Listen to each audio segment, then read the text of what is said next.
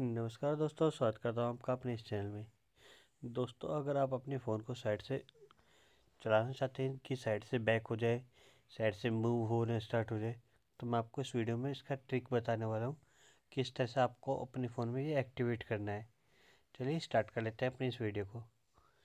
Video start करने से पहले आपसे रिक्वेस्ट करता हूँ, अगर आप हमारे चैनल पर नए आए हैं तो चैनल को सब्सक्राइब कर दें, जिससे आने वाली कोई भी वीडियो आपसे मिस ना हो। देखिए करना क्या है आपको? अपने फ़ोन की सेटिंग के अंदर आपको जाना है।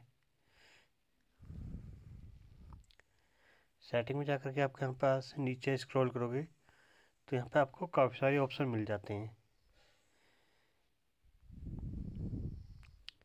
इन्हीं ऑप्शन में आप देखोगे, यहाँ पे कन्वेंसिंग टूल्स वगैरह थे आपके पास दिखाई देते हैं।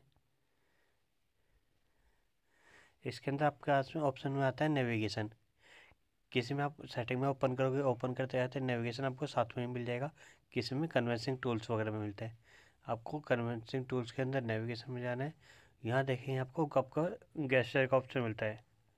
एक चीज़ होता है आपका वर्चुअल बटन कि आप अपने वर्चुअल बटन पे काम करना चाहते हो कि बैक का बटन दबाए या मिडिल का बटन दबाना है या साइड का मेन्यू का बटन दबाना है?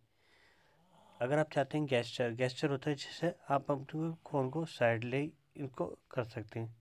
देखिए, इसमें गैस्चर का ट्यूटोरियल भी दिया गया है, किस तरह से करना है।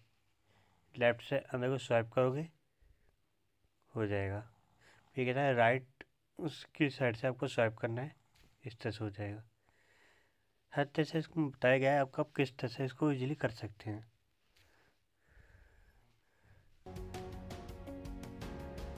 आई फ्रेंड्स, इससे आपकी प्रॉब्लम सॉर्ट आउट हो जाएगी और आप एक फ़ोन को अच्छी तरह से यूज़ करना सीख पाएगी। एक स्टाइलिश तरीके से आप सीख सकते हैं।